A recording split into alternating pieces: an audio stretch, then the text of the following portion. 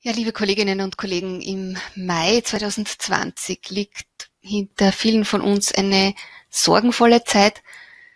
Hoffentlich vor uns allen jetzt ein guter Sommer und im Herbst dann doch eine Zeit, in der die Bedingungen noch relativ ungewiss sind. Und hier spreche ich von den Bedingungen der Präsenz und der Präsenzveranstaltungen, die wir sicher gerne durchführen würden. Und für diese Zeit müssen wir aber planen. Daher möchte ich an dieser Stelle mit Ihnen ein paar Gedanken zur resilienten Angebotsplanung teilen. Das sind Gedanken, die wir hier bei Erwachsenenbildung.at im Arbeitsbereich digitale Professionalisierung im Austausch mit vielen Kolleginnen und Kollegen aufgefangen haben, äh, in Netzwerktreffen, auf einem Barcamp, in Beratungssettings und Begleitsettings und äh, natürlich erheben diese Gedanken weder einen Anspruch auf Vollständigkeit noch auf Wahrheit, aber wir möchten sie einfach mit Ihnen teilen. Die Fragen, die jetzt häufig auftauchen, sind Fragen wie diese. Und hier handelt es sich um Originalzitate von Kollegen und Kolleginnen. Welche Möglichkeit gibt es im Fall eines neuerlichen Lockdown, Veranstaltungen, die analog geplant sind, als Online-Veranstaltungen stattfinden zu lassen? Oder kann es gelingen, Veranstaltungen von vornherein sowohl als Präsenz wie auch als Online-Veranstaltungen zu planen und durchzuführen? Und wir sind natürlich der Ansicht, ja, eine solche resiliente Angebotsplanung ist möglich und würde sich dadurch auszeichnen, dass man einerseits robust plant, also auf bewährter Basis aufbaut und andererseits wirklich proaktiv sich der Herausforderung stellt, dass man einfach unsichere Bedingungen hat und so plant, dass man im Anlassfall flexibel reagieren kann, falls es noch einmal zu Ausgangsbeschränkungen kommt. Bei all dem aber sich auch Lernerfahren verhält, also wirklich berücksichtigt, was in den letzten Wochen, die hinter uns liegen, auch gelernt wurde. Und es ist sehr, sehr viel. Es war wirklich eine Zeit der Lernsprünge, was das Digitale betrifft. Ähm, schnell online zu gehen war für viele Angebote und Anbieter möglich. Es war verblüffend, wie von Sprachkursen über Tagungen bis hin zu Yogakursen und Tanzkursen plötzlich sehr, sehr vieles im Online-Raum stattfinden konnte. Es gab Lernsprünge im Hinblick auf den Umgang mit Videokonferenztechnologien, auch Zuwächse in puncto Lernplattformen. Wenn man jetzt ein großes Online-Treffen mit Kolleginnen und Kollegen erlebt, merkt man eindeutig, wie viel weniger Erklärungen nötig sind, wie reibungslos äh, auch lange gemeinsame Arbeitstreffen äh, zurzeit stattfinden können. Und vor allem haben wir auch eines gelernt, nicht nur in der Arbeit, sondern auch im Privatleben, Live-Video-Meetings ermöglichen Kontakt. So manches Familientreffen hat dank solcher Technologien stattfinden können und so manches Feierabendbier in, im Kolleginnenkreis war mit Hilfe von Videokonferenztechnologien möglich. Äh, und das hat sie und generell das Online-Leben vielleicht ein bisschen aus diesem Schmuddeleck des Unpersönlichen befreit. Zumindest ist es das, was wir von vielen Seiten jetzt so gespiegelt bekommen.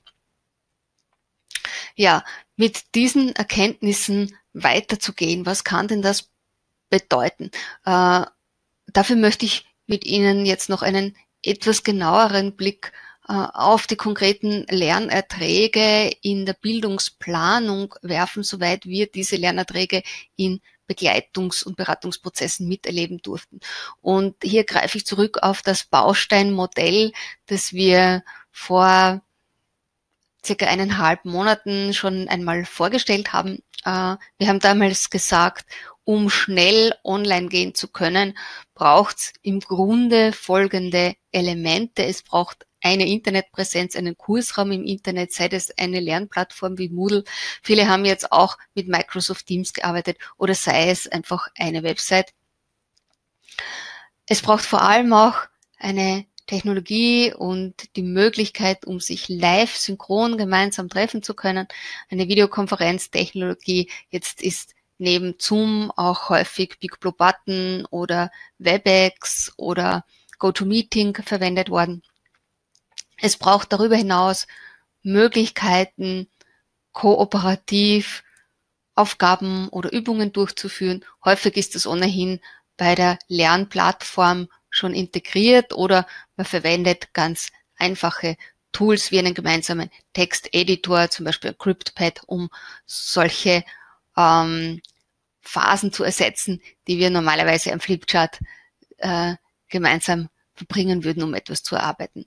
Und gut wäre auch noch ein Kanal für die Gruppenkommunikation. Das kann man äh, natürlich vielfach auch durch E-Mail ersetzen, aber man könnte natürlich auch einen Slack-Kanal dafür haben oder man hat vielleicht einen Kanal für die asynchrone Kommunikation beim eigenen Kursraum schon dabei. Man kommt mit wenig aus, im Grunde, wenn es schnell gehen muss. Wir haben trotzdem erlebt, für viele Einrichtungen war zunächst einmal das Bild folgendes. Äh,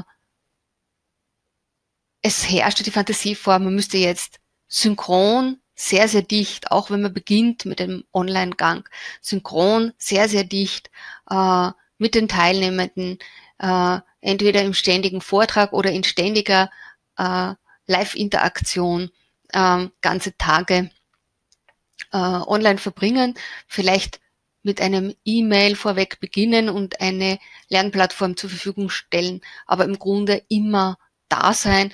Und das ist besonders zu Beginn natürlich sowohl für die Unterrichtenden als auch für die Teilnehmerinnen sehr, sehr fordernd. Daher haben wir auch so als einen häufigen Lernschritt miterleben dürfen, wie dieses Setting ein Stück aufgelockert wurde, wie manche Veranstaltungen dann wirklich im Flipped Design begonnen wurden und äh, mit einer Zusendung von Materialien, einem Fragebogen oder auch einem Video gestartet wurden und man sich dann getroffen hat, live synchron für eineinhalb oder eine Stunde oder vielleicht zwei Stunden und dann eine asynchrone Arbeitsphase, Kleingruppenarbeit oder auch Einzelarbeiten zur sozialen Entlastung zwischengeschaltet hat, sich dann wieder getroffen hat gemeinsam und dann noch einmal in Gruppen oder auch einzeln ähm, dazu angeregt hat, sich mit Inhalten auseinanderzusetzen und etwas zu erarbeiten.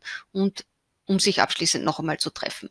Das wäre jetzt so eine grobe Skizze für ein bis zwei Seminartage, vielleicht auch drei, wo man sich zwei bis dreimal auch dann wirklich live synchron äh, online trifft. So haben wir das mehrfach erlebt und Dazu kam natürlich in der Zeit des Lockdowns die Herausforderung, dass viele Unterrichtende und auch Teilnehmerinnen zu Hause mit ihren Familien waren, sich gar nicht einen ganzen Tag lang durchgehend auf eine Weiterbildung einstellen konnten.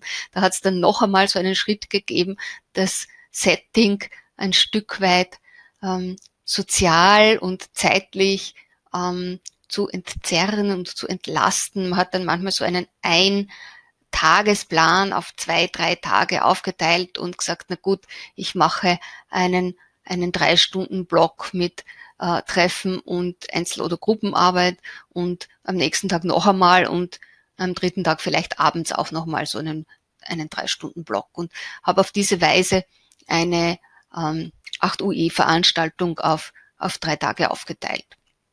Das alles hat schon zu ähm, einerseits sehr entlasteten und andererseits sehr, sehr, sehr wendig durchführbaren Online-Designs geführt. Und wenn man sich hier jetzt diese letzte, ähm, diese letzte Idee hier ansieht, dann eignet sich die sehr, sehr gut für die Übertragung in eine Blended Learning Veranstaltung. Ähm, wir sind hier oben noch immer bei dieser rein online geplanten Durchführung. Man würde starten mit einem Live-Meeting, Videokonferenz, dann eben Gruppenarbeit, Einzelarbeit mit Bezug auf den Online-Kursraum, dann wieder ein synchrones Meeting, alle gemeinsam online, dann asynchron und wieder synchron enden. Das Ganze kann ich natürlich aber genauso als Blended Learning Veranstaltung machen. Wenn man sich wieder gut und ungehindert treffen kann und das gut funktioniert, dann starte ich da in Präsenz und gehe dann weiter mit einer Online-Phase, wo die Teilnehmenden in guter Begleitung und guter Integration beider Phasen, Online und Präsenz, die Möglichkeit haben, mit Materialien und Unterlagen äh, miteinander oder auch in Einzelarbeit selber sich auseinanderzusetzen, selber etwas zu erarbeiten, dann trifft man sich wieder synchron, um das zu vertiefen, Fragen zu klären, einfach in den Dialog und die Auseinandersetzung zu kommen. Dann arbeitet man wieder asynchron weiter. Und schließlich trifft man sich noch einmal in Präsenz. Also diese drei äh, Meetings, die einfach als synchrone Videokonferenz-Meetings geplant wären, kann man sehr gut als Präsenz-Meetings durchführen und wir hätten da hier ein Blended Learning Design im abgesicherten Modus, bei dem man von vornherein davon ausgeht, dass diese Präsenzphasen eine Länge haben äh, und einen Aufbau und Inhalt haben, den ich auch gut in den Online-Raum verlagern könnte und als Videokonferenz durchführen könnte, sollte das im Herbst 2020 nötig sein und sollte es zu einer neuerlichen äh, Beschränkung von Präsenztreffen kommen. Das wäre so eine Möglichkeit, resilient zu planen, auf dem aufzubauen, was wir jetzt gelernt haben und gleichzeitig wirklich proaktiv zu sagen, okay, wir wissen es nicht, was wirklich kommt. Wir planen von vornherein Blended Learning um dann auch die Teilnehmenden nicht so vor den Kopf zu stoßen, wenn sie sich auf reine Präsenz einstellen und es dann nicht möglich sein sollte. Das war ja im Frühling auch häufig eine Erfahrung, dass Personen, die sich auf Präsenz eingestellt hatten, äh, diesen Wechsel auf eine reine Online-Veranstaltung nicht so leicht vollziehen konnten als Teilnehmende. Das ist natürlich leichter, wenn man sich von vornherein auf ein Blended Learning Setting einstellt und die Möglichkeit des Online-Lernens für sich auch von vornherein in Betracht zieht. Ähm, was heißt das jetzt äh, für ein äh, Grobdesign äh, von mehreren Einheiten hier noch einmal dargestellt? Das kann ich ja aufs, aufs Große übertragen und ich bedanke mich an dieser Stelle bei unseren deutschen Kolleginnen von Fräulein Flow für die Abbildungen, die aus ihrem Fünf-Stufen-Modell entnommen sind. Ich könnte natürlich planen mit Präsenz, Online-Präsenz, Online-Präsenz und im Fall eines Lockdown, wie gesagt, die Phasen 1, 3 und 5 als reine Online-Meetings durchführen. Und wenn Sie hier genauer reinlesen, dann sehen Sie, dass in diesen Online-Meetings 1, 3 und 5 tatsächlich genau das Gleiche passiert, inhaltlich wie in den geplanten Präsenzphasen. Und wenn ich jetzt einen Inhalt habe, der sich für eine längere Projektarbeit eignet oder eine online gewohnte Zielgruppe, dann kann ich genauso gut äh, eine Abfolge von Präsenz, Online, Online, Online, Präsenz planen. Und auch da hätte ich im Fall von Beschränkungen natürlich die Möglichkeit, das rein online durchzuführen, wenn nötig und hier eben die erste und die letzte Präsenzveranstaltung mit Hilfe einer Videokonferenztechnologie durchzuführen. Das ist einer der sicher vielen denkbaren Vorschläge für resiliente Planung. Wichtig ist dabei, immer mit zu bedenken, dass online nicht heißt, dass unpersönlich gelernt wird und äh, dass man Atmosphäre gut gestalten kann und soll, dass man Pausen mit Musik, mit Bildern äh, und vielen anderen Elementen sympathisch gestalten kann und dass auch soziale Symbole wie hier dieser High Five natürlich genauso gut mit Hilfe von Videokonferenztechnologien möglich sind.